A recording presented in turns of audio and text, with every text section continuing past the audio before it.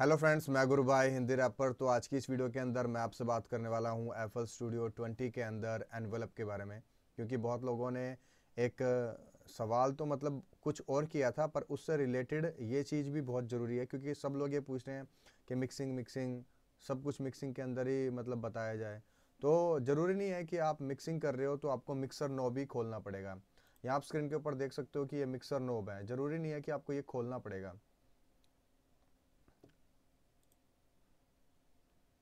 Okay तो आपको काम करने के लिए आ, मतलब और भी कई चीज़ों का ध्यान देना पड़ेगा। जैसे कि मैं एनवेलप के बारे में इस वीडियो के अंदर बताने वाला हूँ। तो एनवेलप होता है हमारा यहाँ पर। आप अपने चैनल रैक के अंदर जाओगे तो कोई साउंड मान लो आपने ले रखी है या जैसे कि आपको इन बिल्ट इसके अंदर मिल जाता है। किक क्लैप हैट स्नेयर तो ये सब जो होते हैं इसके अंदर भी एनवेलप होते हैं। तो ये होता है एनवेलप तो जब हम इसके ऊपर क्लिक करते हैं तो इसके अंदर हमें मिलता है ज़्यादातर जो हम ज़्यादा यूज़ करते हैं वो होता है अटैक होल्ड डीके सस्टेन और रिलीज़ ये जो डिले है, वो फ़ंक्शन हम कभी कभी यूज़ करते हैं इसके अंदर, पर मोस्टली तो यूज़ करते ही हैं सभी फ़ंक्शंस वो भी अपने मिक्सिंग को अच्छा बनाने के लिए. इसके अंदर एनवेलप के अंदर मैं बात करने वाला हूँ कि एनवेलप काम कैसे करता है. ठीक है? अब एनवेलप को काम करने के लिए आपके पास कोई एक साउंड होनी चाहिए, जैसे कि ये साउंड है, आप सुन लीजिए. ओके ये साउंड है. अब ये साउंड आपके सामने है और ये भी साउंड है. और ये भी साउंड है। तो कोई भी आप साउंड जो देख रहे हो, वो सब एनवेलप के अंदर यूज़ हो जाती है। अब ये यूज़ कैसे होती है, उसके लिए सबसे पहले आपको एक चीज़ का ध्यान देना पड़ेगा कि जब आप एनवेलप के लिए काम करने जा रहे हो तो आपने कोई एक साउंड चूज़ करनी है और इसके अंदर क्या काम होता है, वो भी मैं इसके अंदर बताने वाला हूँ तो आपको अच्छे से समझ आ जाएगा कि एनवेलप जो है, हमारे को कहाँ कहाँ पर यूज़ करना चाहिए और कहाँ नहीं करना चाहिए। मोस्टली ये गाने को अच्छा बनाने के लिए, या, यानी कि जो साउंड मान लो एक सिमट रहा है एक जगह पे, उसको थोड़ा सा फैलाने के लिए थोड़ा सा और खूबसूरत बनाने के लिए ये काम होता है। और ये मिक्सर में भी कर सकते हो आप, बिना मिक्सर के भी कर सकते हो एफल स्टूडियो के अंदर। तो मैं किक के ऊपर जाता हूँ। तो किक आप सुनेंगे कि ऐसी है किक ठीक है? अब इसके अंदर ये ऑप्शंस देख रहे हो, अब हमने इनको यूज़ करना है। यानी कि ये अटैक है। ए डबल टी लिखा हुआ है तो अटैक माना जाएगा। ये शॉर्ट में यहाँ पे लिखा हुआ है अटैक है। और एक चीज़ का आप ध्यान देना कि यहाँ पर आपने देखा होगा, अभी ये रेड कलर का ये बटन ऑटोमेटिक ऑन हो गया है। तो ये ऑन होना चाहिए। अगर आप ये ऑफ़ रखोगे तो ये वर्क नहीं करेगा। और अगर आप, मैं दिखाऊँ आपको क्लैप के अंदर तो आप देखोगे कि यहाँ पर ये ऑफ़ हो रखा है। और जैसे ही मैं इस नोब को हिलाऊँगा तो ये ऑन हो जाएगा। तो इसी तरह से आपको भी ध्यान देना है कि कहीं ऑफ़ ना हो। कई बार क्या होता है, आपके सामने ये ऑन हुआ है तो आप इसको ऑटोमेटिक ऑफ़ भी कर दोगे तो ये वर्किंग नहीं करेगा। तो जैसे कोई भी साउंड है, हम लेते हैं अटैक के अंदर। तो अटैक होता है हमारा एक स्टार्टिंग पॉइंट जहाँ से हमारा गाना शुरू होता है, जो एक टच करता है ऊपर तक।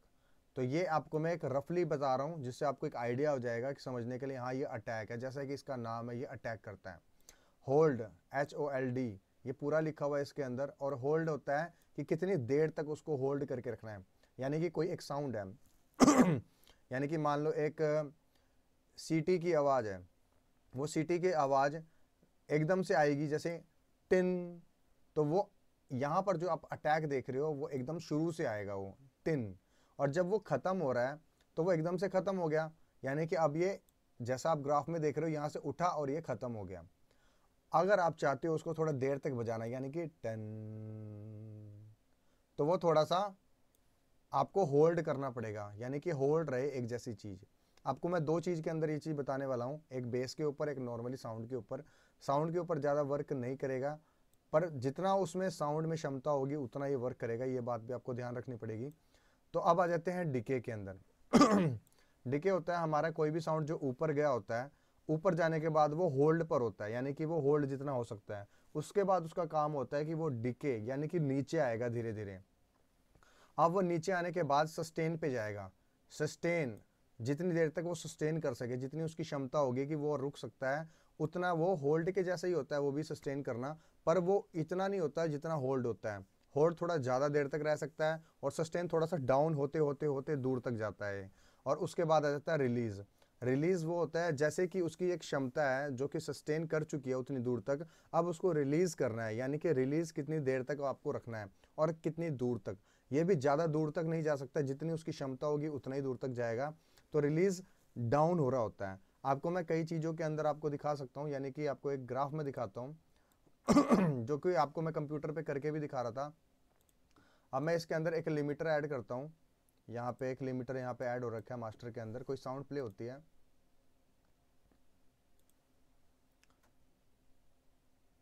यहाँ पे मैं कोई क्लैप लगाता हूँ।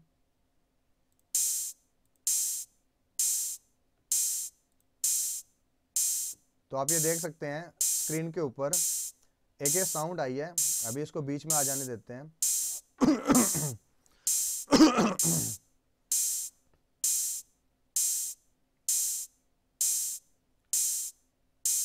अब इस चीज़ को आप ध्यान से समझना कि ये जो एकदम से ऊपर साउंड आया है ना ये पूरा, स्टार्टिंग पॉइंट जो आया है, ये उसका अटैक है। और ये मोस्टली जितना आप बीच में देख रहे हो, ज़्यादातर जो साउंड आ रहा होता है ज़्यादातर जो साउंड होता है, वो होल्ड में माना जाता है, ठीक है? और होल्ड के बाद जो थोड़ा सा डाउन जा रहा होता है ना, वो सस्टेन में आ जाता है। और जो बिल्कुल आप ये नीचे छोटा सा देख रहे हो, ये बिल्कुल एकदम से नीचे जाके और ये एकदम ख़त्म हो रहा है ना ये, बिल्कुल नीचे टच कर रहा है तो वो रिलीज़ माना जाता है।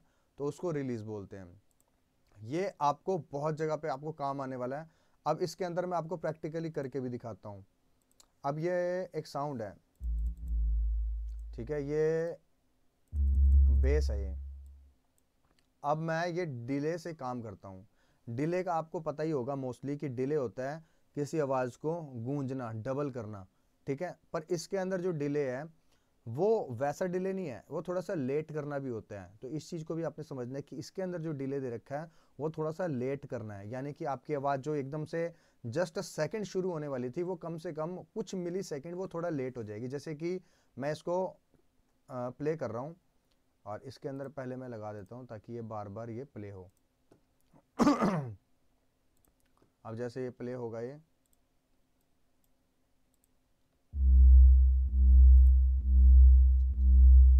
अब एक चीज़ नोटिस करो। ये धीरे से ऊपर आ रहा है, एकदम से अटैक नहीं कर रहा है।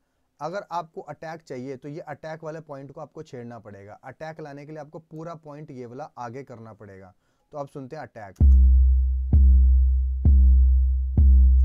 अब लग रहा है कि किसी ने अटैक किया है, मारने की कोशिश की है किसी चीज़ के ऊपर तो वो साउंड निकल के आ रही है। अब आप देखोगे ये जितना ये होल्ड हो रहा है, ये चीज़ अब होल्ड पे आते हैं हम। अब होल्ड को अगर मैं कम करूँगा तो ये कम देर तक ये बूम बूम कर रहा है। इसको थोड़ा बढ़ा देता हूँ फुल इसकी इतनी क्षमता थी, इसीलिए ये इतना प्ले कर रहा है अगर मैं इसको और ज़्यादा कम कर दूँगा लग रहा है? नीचे आ रहा है लग रहा है? नीचे आ रहा है। अगर आपको लगता है कि से, सेम साउंड है तो आप चेक भी कर सकते हो लिमिटर के अंदर।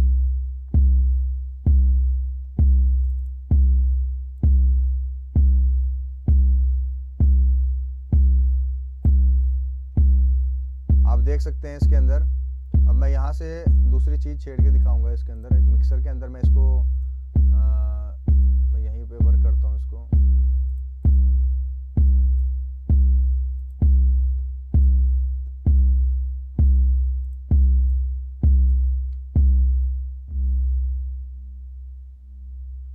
अब आपको यहाँ पे रिज़ल्ट दिखाई दे रहा होगा नीचे भी। जो मैं ऊपर करता जा रहा हूँ वैसा ही कुछ मिलता जुलता रिज़ल्ट नीचे मिल रहा है। जैसा आप ग्राफ यहाँ देख रहे हो, वैसा ही मिलता जुलता ग्राफ नीचे भी बनता जाएगा।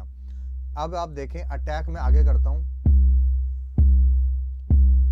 ये अटैक बिल्कुल लग रहा है। अब अटैक को मैं पीछे करूँगा तो थोड़ा सा ये स्विप करके आएगा। स्विप यानी कि अपलिफ्टर की तरह आएगा जैसे धीरे नीचे से जाकर ऊपर गया हो। अब मैं होल्ड थोड़ा ज़्यादा करूँगा। नीचे भी ग्राफ देख सकते हो, जितनी इसकी क्षमता थी, उतना ये होल्ड थोड़ा सा आगे गया है। यानी कि वो जो चोंच थी, यहाँ आप डिफरेंस देख सकते हो। पहले होल्ड नहीं किया हुआ था तो ये बिल्कुल ऊपर जाके नीचे आ रहा था। जब मैंने होल्ड शुरू किया तो ये होल्ड थोड़ा सा दूर तक गया है। उसके बाद अब मैं डीके को यूज़ करता हूँ।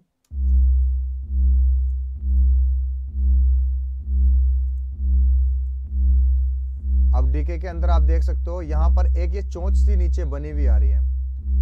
समझ रहे हो? तो ये डीके के अंदर एक छोटा सा एक गैप जो है, वो पैदा कर रहे हैं। अब इसको मैं ख़त्म करता हूँ।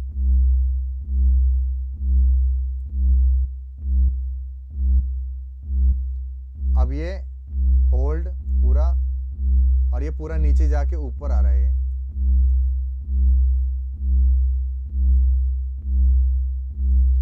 आपको यहाँ से डिफरेंस पता लग रहा होगा, मैं इसको स्टॉप करता हूँ। कि आप यहाँ पे देखेंगे कि थोड़ा सा ऊपर है और बाद में थोड़ा ज़्यादा नीचे हो गया, यानी कि इनका डिस्टेंस और इसका डिस्टेंस थोड़ा सा फ़र्क आ गया है। तो इससे आपको अपने आप ही पता लग जाएगा, ये छोटी छोटी स्क्रीन के अंदर आपको ज़्यादा डिटेल नहीं पता लगेगी, आपको बड़ी स्क्रीन के अंदर काम करना पड़ेगा, तब जाके ये बारीकी वाली चीज़ पता लगेगी, क्योंकि ये चीज़ आप सुन के भी अंदाज़ा नहीं लगा सकते हो। उसके बाद मैं सस्टेन को छेड़ता हूँ। अभी ये फुल हो रखा है, क्योंकि इसके अंदर इतनी लिमिट थी इस साउंड के अंदर तो ये ज़्यादा, अब मैं इसको कम करके ही आपको बता पाऊँगा। कि ये क्या डिफरेंस इसके अंदर आता है तो मैं इसको पहले कम कर लेता हूँ। क्योंकि जिस साउंड की जितनी लेंथ होगी, वो उतना ही सर्वाइव कर सकता है, उससे ज़्यादा नहीं करेगा ये। तो ये चीज़ भी आपको समझनी पड़ेगी।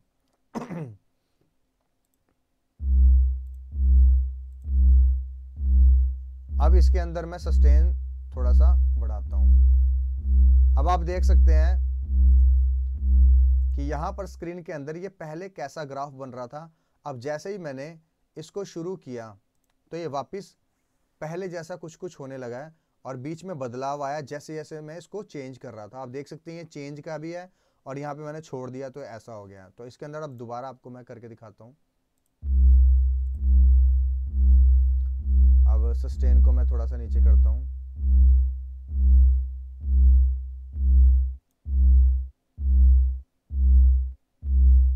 ये अभी बंद कर दिया सस्टेन इसीलिए वो जगह बंद हो गई है। अब अगर सस्टेन को थोड़ा खोलूँगा, जैसा कि मैंने पहले ही बताया था, ये भी होल्ड जैसा होता है, पर ये होल्ड नहीं होता, ये बात आपको ध्यान रखनी पड़ेगी। जैसा कि हम दूसरी चीज़ में भी बात करते हैं गेन और वॉल्यूम सेम नहीं होते हैं, पर थोड़ा थोड़ा मिलता जुलता वर्क करते हैं, पर एक्चुअल में गेन और वॉल्यूम सेम नहीं होते। उसी तरह से होल्ड और सस्टेन भी सेम नहीं होता होल्ड अपना होल्ड होता है और सस्टेन सस्टेन होता है। अब आते हैं रिलीज़ के ऊपर। रिलीज़ अभी फुल हो रखा है, इसीलिए आपको अब डिफरेंस पूरा पता लग रहा होगा कि यहाँ स्क्रीन पे आप देख सकते हो, पूरा कर्व ले रहा है ये डाउन लिफ्टर की तरह से। ठीक है? यहाँ से अप लिफ्टर हो रहा है और यहाँ से डाउन में जा रहा है। आप इसकी शेप से ही पता लगा सकते हैं। अब आप देख सकते हैं अप और नीचे अप और फिर नीचे अप फिर नीचे। ये ऊपर नीचे हल्का हल्का होता जा रहा है तो उससे आपको पता लग रहा होगा कि रिलीज़ कैसा है। यहाँ आप लास्ट में देख सकते हैं कि कैसी शेप ये बना के गया है। उसी से साफ़ पता लगता है कि रिलीज़ ये ऐसा ही वर्क करता है।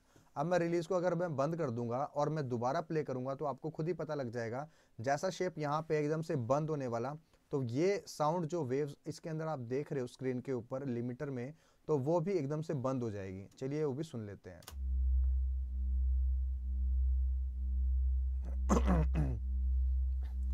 अब मैं स्टॉप करने वाला हूँ, आपको पता लग जाएगा। जैसे ही मैंने रोका, वहाँ पे कट लगा आ गया। अब आपको पता लग गया होगा, रिलीज़ क्या होता है। इसी तरह से आपको प्रैक्टिकली करना पड़ेगा। जितना ज़्यादा आप प्रैक्टिकली करोगे, आपको पता लग जाएगा, delay, attack, hold, decay, sustain और रिलीज़।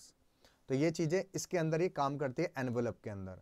पर इसमें एक तर्क दूसरा बदल भी जाता है, जब आप एक चीज़ को चेंज कर देते हो, इसके साइड ही आप एक ऑप्शन देख रहे हो, ये चीज़। तो ये एक वेव्स है, जो कि वेव्स आपको शेप बदलती मतलब गाने की शेप बदलती है, यानी कि थोड़ा चरचरापन सा लाना है, थोड़ा स्मूदनेस लानी है तो उस हिसाब से उसके अंदर काम करता है। अगर आप साइन वेव के अंदर काम करोगे, ये जो एस बना हुआ है तो बहुत अच्छा रिज़ल्ट आपको मिलेगा मोस्टली अच्छा ही रिज़ल्ट मिलता है, क्योंकि ये जो एक साइन वेव बना होता है, ये हेड के अंदर इंसान को जल्दी नहीं चुपता है, और चुपता भी है तो इतना ज़्यादा हार्म नहीं करता है। और जितना ज़्यादा आप इधर जाते जाओगे, ये जितना टेढ़ा मेढ़ा बना रहेगा जो शेप के अंदर होती है, उतना ही ज़्यादा आपको दिक्कत करेगा। उसके साइड में भी आप इसको छेड़ सकते हो, यानी कि यहाँ पर जो आपको दिया हुआ है, यहाँ पे अटैक और अमाउंट दे रखा है और स्पीड दे रखा है तो इसको भी आप चेंज कर दोगे तो आपका ये साउंड दोबारा बदलना शुरू हो जाएगा। तो ये अभी अनवेलप के अंदर मैं बात कर रहा था, पर यहाँ से भी आपके साउंड की साउंड बदल सकती है। और ये सब भी दे रखे हैं मोड एक्स मोड वाई ये चीज़ें हम आगे बात करेंगे। तो इन चीज़ों का आपको ध्यान रखना पड़ेगा और पिच एनेबल भी आपको ध्यान रखना है। ये सब चीज़ें ऑन होनी चाहिए तभी जाके ये अच्छा वर्क करेगा। अब इसके अंदर मैं बताने वाला हूँ अगले वीडियो के अंदर कि three x O S C के अंदर हम यही चीज़ दोबारा करेंगे और उसके अंदर आपको और ज़्यादा डीपली समझ आएगा। तो आप भी वीडियो को इतना ही रहने देते हैं, क्योंकि वीडियो ज़्यादा बड़ी हो जाएगी तो आप लोग स्किप ही करते रह जाओगे और काट दोगे वीडियो। क्योंकि फिर कमेंट आते हैं, भाई, इतनी बड़ी वीडियो मत बनाया करो। पर रीज़न ये है कि ज़्यादा वीडियो बना, बड़ी बनाने से ही आपको समझ आएगा। छोटी वीडियो के अंदर इन चीज़ों का काम होता ही नहीं है, क्योंकि ये चीज़ें हमें भी नहीं पता होती कि आगे कंप्यूटर पर क्या रिज़ल्ट लाने वाली है।